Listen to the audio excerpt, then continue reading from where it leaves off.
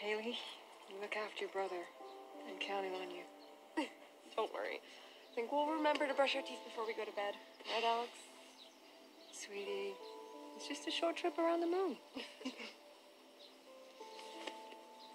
But be careful. I heard the jet lag on the way back is awful. You two will always be here. Ryan, it's time to go. Wait, I want a picture.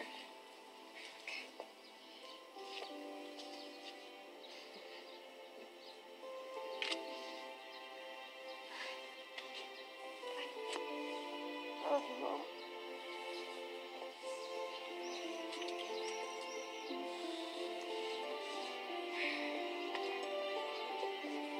41 year old Ryan Woods is about to make history.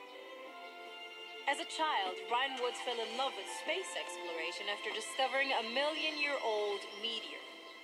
She's now the first female astronaut to orbit the moon on the maiden voyage of the Okay, when you see moms, you're really loud. She has doctorate in physics at Caltech. My mom, the overachiever. Oh, there she is.